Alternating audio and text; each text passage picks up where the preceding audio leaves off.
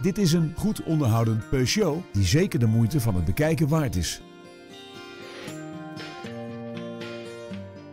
De aandrijving komt voor rekening van een benzinemotor en een handgeschakelde vijfversnellingsbak. Op de accessoirelijst van deze auto vindt u onder meer cruise control, elektrisch bediende ramen en elektrisch verstelbare buitenspiegels. Tevens wordt deze auto geleverd met Nationale Autopas. Nieuwsgierig? Bel ons nu voor een proefrit.